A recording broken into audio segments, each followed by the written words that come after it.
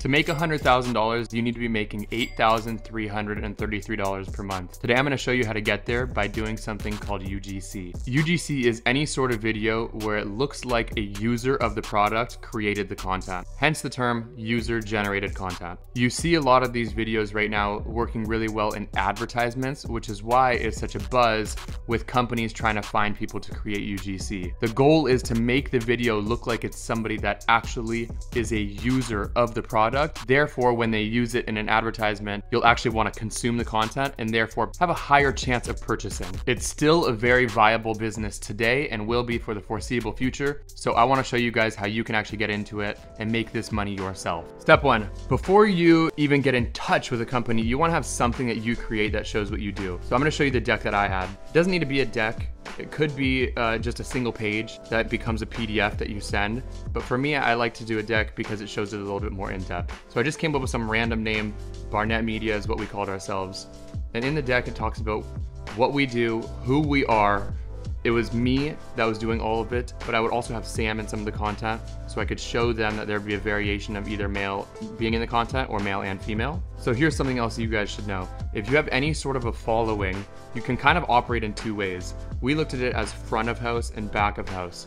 Front of house would be like you actually posting on your own channel, meaning as an influencer, as a creator, as a whitelist, whatever. And then back of house would be like UGC, where you're making the content for the brand to post on their own things, and nobody knows that it's you that's making it because you're not using it on your own account. So front of house and back of house. This is the way that we would pitch. The front of house offerings for us would be like a sponsored campaign, placements and shoutouts, some product reviews or demos, and lead generation or like hosting a contest or a giveaway because those were a big thing at the time. In this page that you send over, whether it's a deck or whether it's a PDF, you want to display all of those things that you offer and what the various price points or a single price point, if they're all the same, are. Then for back of house, you have things like UGC, you have things like unboxings, product reviews, or even like more full fledged video production that could be a little bit higher end.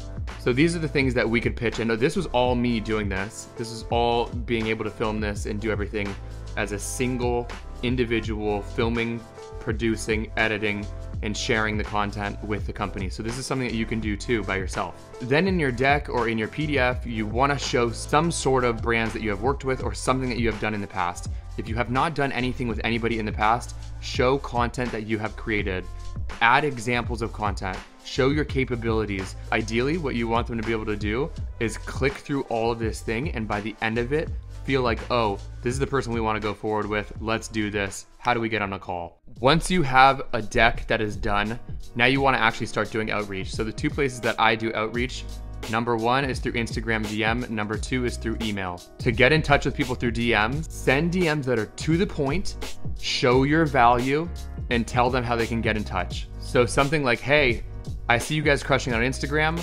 Would love to help you guys with user generated content. I've done it for Therabody, Caraway, and Orgain. Here's a link to more info.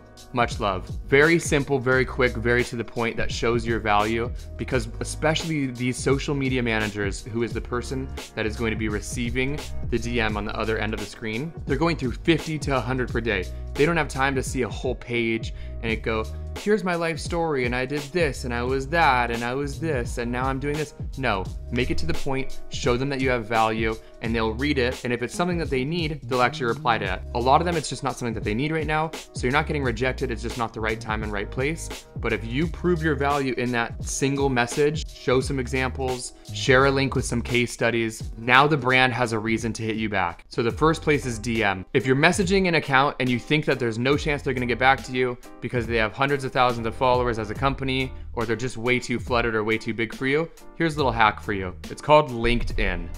This is gonna take me into number two, which is sending people emails. You can find the person that is running the social media account or manages the money or works with influencers. You can find all of these people if they have their job title on LinkedIn just by searching that company and going to the company profile and then looking at the people within the company and searching that job title. So this is a hack that I will do. If I know that the company's too big for me and they're not gonna get back in DM, this is what I do.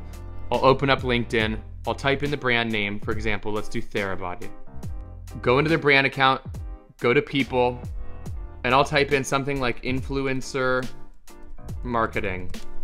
So now if you see that it shows 22 employees in influencer marketing, you can go down and you can click on some of these profiles and in either their about section right here or under their contact info or under their experience, sometimes it'll actually show their email or their social media handles. Like this person's, I think, was in their contact info. It shows her Twitter. So you can go and search those. Or if you don't do that, you can actually search their regular full name on Instagram and go and send them a message. If I'm a social media manager and I'm running the Therabody account and I get a message from somebody that says, yo, I do UGC, I know that you guys are working this, this, and this, and I could crush it for you. Here's a link. If it's something that I genuinely would find valuable for our company, I'm not gonna be upset. If you're messaging me just, so just some random stuff, I might be like, why are you messaging me on my own account? But if it's something that our company will actually find valuable, then yes, I will be like, yo, this is great. I'm glad that I got to see this because it's not lost in the shuffle of our inbox on our main account. So you send them the DM, they look at the deck, they send you a message back, this is interesting. The next thing you wanna do is get on a call with them. When you get on a call with them, you wanna walk them through that. Ask them their thoughts, ask them what would make it valuable for them. Also, on the call with them, you want to walk through all the different things that you can offer. So, when you're going through the deck, you can do UGC, but you can also mention, hey, if you guys have an interest in running this ad through my profile, we can also do whitelisting, and then you guys might get a better conversion rate because it's running through a human being's account. So, you can offer different services along with the initial one that might be supplementary.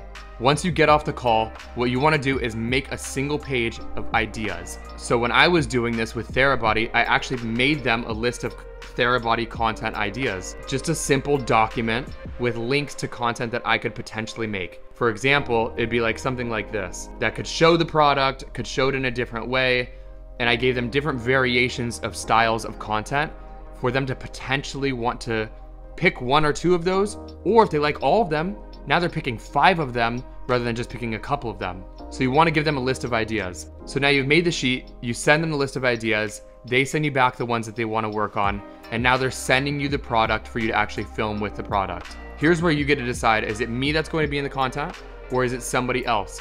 If you're a creator and you like doing it yourself and you're okay with doing it yourself, do it. If you're somebody that wants to really scale this, you might get to a place where you actually have a couple of people that you can go and you can tap to come and help film the content with you, like I have done with my fiance.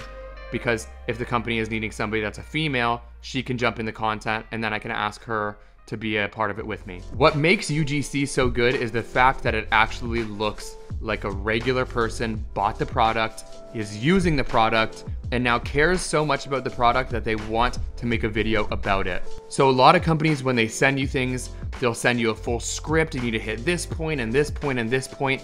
And even though they are telling you they want you to hit those points, film a version that comes completely off the cuff where you are literally just like, this is how I would say it if I was saying it to a homie, if I was sending a video to my mom, to my friends, whatever, because that natural, authentic reaction or way that you're saying it is the way that the ad will actually convert the highest. So make a version like that. And when you send them back to the company, say, here's your version. Here's another version that I just threw in there that I thought might be interesting for you. It just is the most authentic way that I would say it. If you guys are interested in it, you guys can have this too. And you guys can upsell them on that, where now they might be getting two videos. Before they were gonna get one video for $1,500, now they're gonna get two videos for 2000 so now you just made an extra $500 for something that maybe took you five to 10 to 15 minutes. But you really do wanna make the content good for the reason of if you do this well and they like your content, now you might find your, yourself in a place where they want to bring you on a retainer, which is what happened with me with Therabody, where they tapped me in for another set of these UGC style videos. So I was able to go from making 4500 one time for three videos to doing it a whole separate time for another additional three videos since they liked the first three. So during the span of the same time, I was able to do Therabody of three videos at $1,500 per video.